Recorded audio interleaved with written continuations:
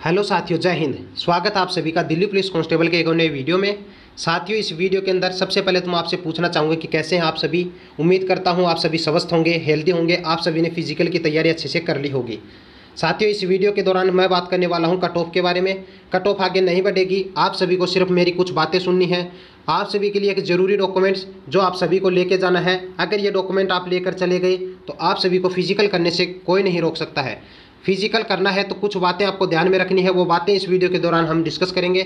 आप सभी वीडियो के अंदर बने रहना। सबसे पहले तो 28 जून फ़िज़िकल वाले सभी कैंडिडेट्स को अपनी इस फैमिली की तरफ़ से very very very best of luck साथियों। आप सभी साथी जो भी इस वीडियो को देख रहे हैं कमेंट सेक्शन के अंदर 28 जून वाले सभी साथियों के लिए बेस्ट ऑफ़ लक ज़रूर बोलना। 28 जून वाले सभी कैंडिडेट्स को मैं एक बात कहना चाहूँगा कि आपको बिना घबराए, बिना किसी टेंशन लिए, बिना किसी से डरे, बिना किसी घबराहट के आप सभी को फ़िज़िकल क्वालिफाई करना है। आप सभी के साथी होंगे। आप सभी से फ़िज़िकल वहाँ पर क्वालिफाई करवाने के लिए ही आपको बुलाया गया है ओके आप सभी को यह टारगेट दिमाग के अंदर सेट कर लेना है कि हमें फ़िज़िकल क्वालिफाई करना ही है। क्योंकि आप सभी ने इतने दिनों तक मेहनत की है, उस मेहनत का आज रंग दिखाने को आपको सबसे बड़ा मौका मिला है इस मौके को चूक मत जाना। सभी साथियों से यह भी रिक्वेस्ट है कि जैसे आप फ़िज़िकल करके बाहर निकलो, अपना एक्सपीरियंस आप आकर कमेंट सेक्शन के अंदर या फिर कम्युनिटी पोस्ट में आपको पोस्ट मिल जाएगी। वहाँ पर आकर ज़रूर बताना ताकि आपसे नेक्स्ट डे वाले साथियों की हेल्प हो पाए। चलिए वीडियो को स्टार्ट करते हैं। सबसे पहले पॉइंट के ऊपर तो मैं यही डिस्कशन करूँगा कि एक ज़रूरी डॉक्यूमेंट्स है, आप सभी साथी इसको मत भूल जाना और वो डॉक्यूमेंट है ये। आपने अपने जो डॉक्यूमेंट्स हैं, अपनी क्वालिफिकेशन के डॉक्यूमेंट्स ले लिए होंगे साथियों, लेकिन ये डॉक्यूमेंट्स मत भूल जाना माता पिता का आशीर्वाद। क्योंकि आप सभी के लिए जो भी आपने डॉक्यूमेंट्स लिए हैं, वो सिर्फ़ फॉर्मेलिटी के लिए हैं। आपको फ़िज़िकल के अंदर डाल देंगे, आपको फ़िज़िकल देने की अनुमति मिल जाएगी। लेकिन फ़िज़िकल पास करवाने में कहीं ना कहीं सबसे बड़ा हाथ होगा तो इन्हीं का होगा, क्योंकि ये अपने बच्चे के लिए सबसे ज़्यादा दुआ करते हैं कि हमारा बच्चे ने इतने दिनों तक मेहनत की है। भगवान इनको फ़िज़िकल अच्छे से क्वालिफाई ज़रूर करवाए। अपने माता पिता का आशीर्वाद लेकर निकलना साथियों आपको फ़िज़िकल के अंदर कोई बाधा नहीं आएगी, ये मेरा खुद का एक्सपीरियंस है। मेरा खुद का एक्सपीरियंस किया हुआ है, ये कि माँ बाप का आशीर्वाद लेने के बाद में आप सभी की जो भी बाधाएँ वो अपने आप ही दूर हो जाती हैं।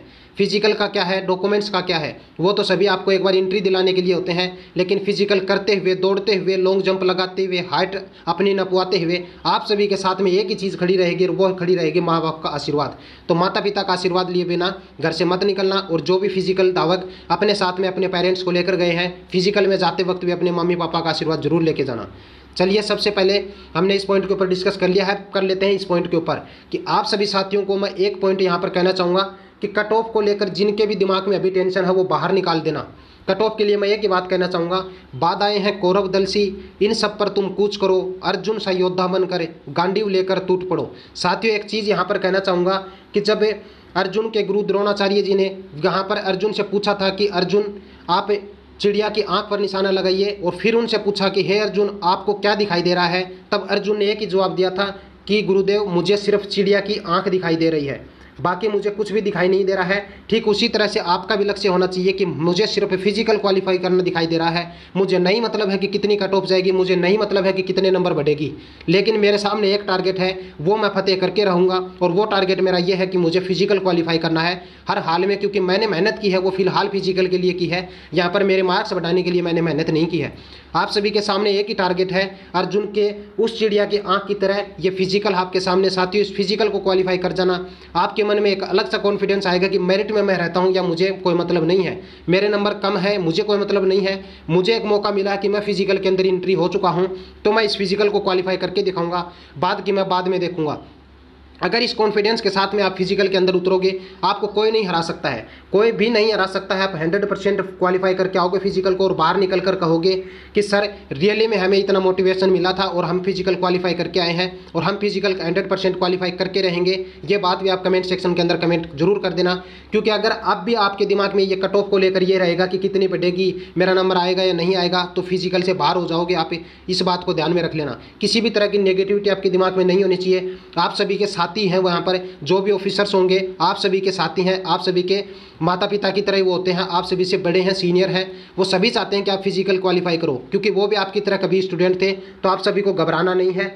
आप सभी अच्छे से फ़िज़िकल क्वालिफाई करना, जिनके पास में जो भी डॉक्यूमेंट्स हैं, वो लेकर निर्धारित समय के ऊपर आप फ़िज़िकल ग्राउंड के अंदर उपस्थित हो जाना। साथ में कुछ कैंडिडेट पूछ रहे थे कि, सर, हम अंदर अपने पेरेंट्स को भी लेकर जा सकते हैं या फिर अपने साथी को ले जा सकते हैं क्या? तो आपको ग्राउंड के बाहर ही उनको छोड़ना होगा।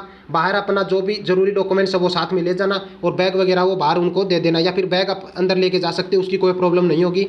लेकिन जो आपके साथी जो जाएँगे, आपके साथ में फ़िज़िकल दिलाने के लिए, उनको बाहर ही रुकना पड़ेगा। ग्राउंड के अंदर उनको एंट्री नहीं मिलेगी। आप सभी साथी, जो भी डॉक्यूमेंट्स अपने लेकर चले जाना, अच्छे से चेक कर लो कि आपने सभी डॉक्यूमेंट्स लिए हैं या नहीं लिए हैं। घबराना नहीं है। जो भी रूल्स आपको बताए थे फ़िज़िकल दौरान, आपको क्या क्या नहीं करना है क्या क्या चीज़ नहीं खानी है, वो सभी इन चीज़ों को ध्यान में रख लेना, क्योंकि आपके साथ अभी आपके पास में सिर्फ़ और सिर्फ़ 28 जून का समय आने में कोई ज़्यादा टाइम नहीं बचा है। 28 जून का वो दिन, जिसके लिए आपने इतने दिनों से मेहनत की थी छः महीने से मेहनत की थी, वो आपका दिन आ चुका है। आप सभी को फ़िज़िकल क्वालिफाई अच्छे से करना है। इस बात का ध्यान रखना कि आप अपना एक्सपीरियंस ज़रूर शेयर करना। आप सभी साथी कम्युनिटी पोस्ट के अंदर आपको पोस्ट मिल जाएगी। वहाँ पर अपना जो अपने एक्सपीरियंस वहाँ पर करके आओ, जो भी फ़िज़िकल के अंदर आपको बातों जो जो स्टेप बाय स्टेप आपको फेस करना पड़ रहा है, वो आप कमेंट सेक्शन के अंदर ज़रूर बता देना, ताकि आपसे नेक्स्ट डे वाले साथियों की हम हेल्प कर पाएँ। आप सभी साथियों के लिए फिर से बेस्ट ऑफ़ लक भगवान से उम्मीद है कि आप सभी फ़िज़िकल अच्छे से क्वालिफाई करके आएँ और खुशी खुशी अपना फ़िज़िकल क्वालिफाई करके आएँ। अपना ख्याल रखना। मिलते हैं नेक्स्ट वीडियो के अंदर। धन्यवाद।